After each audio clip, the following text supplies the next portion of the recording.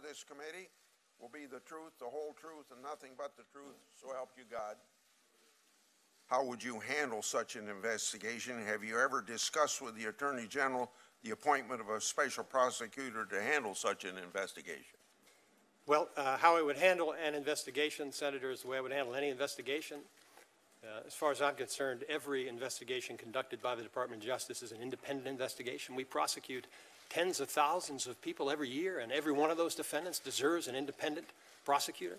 Uh, And so I would be certain that uh, we had independent investigators to conduct those investigations, along with law enforcement agents who are trained to conduct their investigations in an appropriate way and comply with the statutes, the regulations, the Constitution, and the policies of our law enforcement agencies.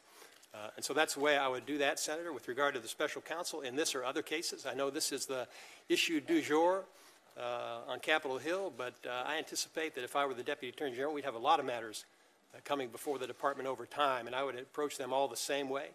Uh, I would evaluate the uh, facts and the law, consider the applicable regulations, consult with career professionals in the department, and then exercise my best judgment if I were acting Attorney General, or provide my best advice to the Attorney General if he were not recused uh, about what I believe is the right course of action.